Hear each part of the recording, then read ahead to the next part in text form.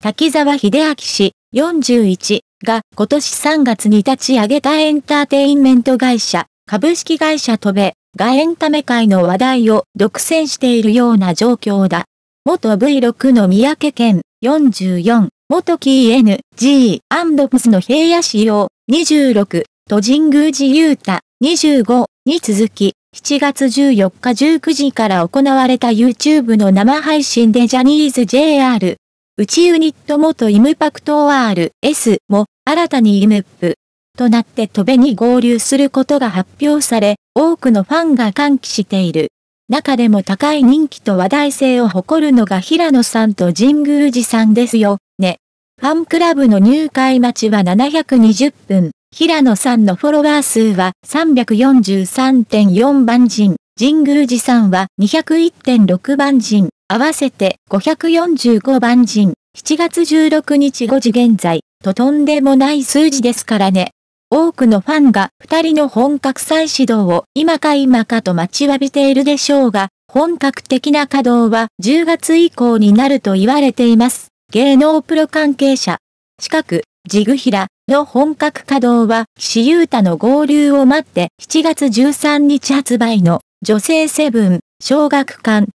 平野と神宮寺の本格的な活動は9月末にジャニーズ事務所を退場する岸優太27の合流を待ってからだと報じている。岸さんは明言を避けています。が平野さん神宮寺さんとの合流は間違いないでしょう。ね。ただそうなると、約2ヶ月半ばの空白期間ができてしまうわけです。その間、平野さんと神宮寺さん、それに戸部サイドも露出はしていきたい、させたいと考えているはず。二人が合流を発表した YouTube の生配信動画は多くのテレビ番組で放映されましたが、あれは戸部が使ってくださいと各局に配布したそうですからね。滝沢さんはそのあたりの戦略にも長けていますし、そういった行動からも二人を露出させていきたいという意向が垣間見えます。全道、四角タッキーと TBS の蜜月関係。平野と神宮寺の人気は、金プリ在籍時以上とも思えるほどで、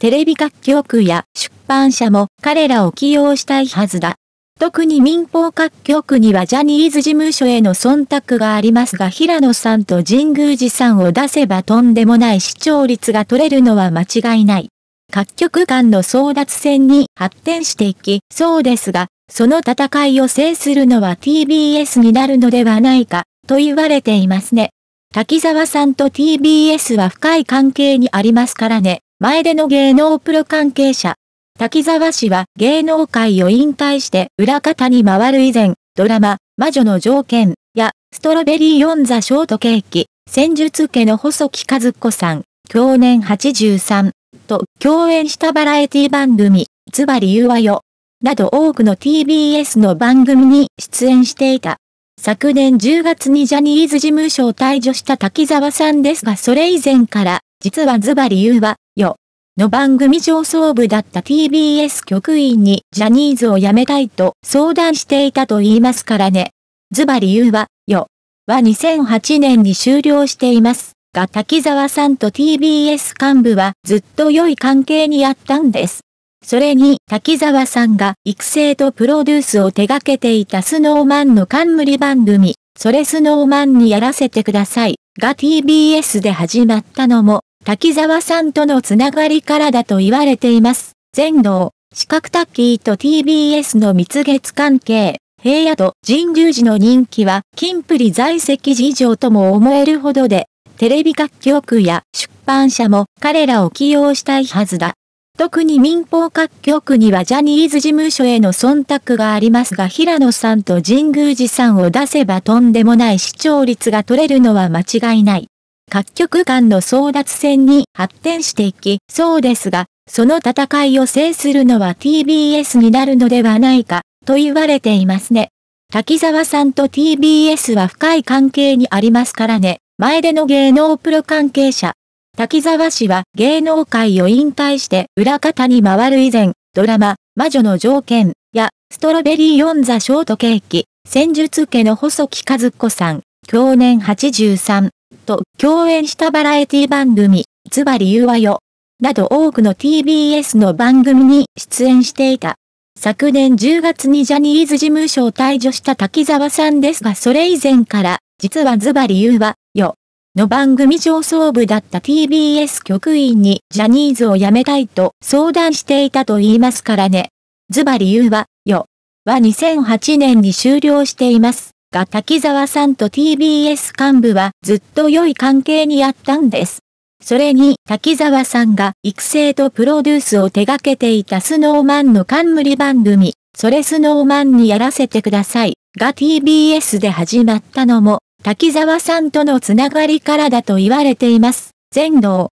四角ジャニー氏の闇を積極的に取り上げてきた TBS。TBS は、ニュース23や報道特集を中心に、ジャニー北川氏、去年87の課題問題を積極的に取り上げてきた局でもある。TBS はとにかく報道が強く、やるときはやるというスタンスですから、ジャニーズへの忖度もそこまでではないと見られています。それに、平野さんのジャニーズ時代最後の主演ドラマとなった、クロサギも TBS でしたからね。滝沢さんや平野さんとの距離感、ジャニーズとも24時間テレビをやる日テレほどはべったりではない。そういった理由もあり、TBS が平野さんと神宮寺さんを何らかの形で番組に出すのではないかと関係者の間では話されているんです。前での芸能プロ関係者。二人でインスタフォロワー数545番人長を誇る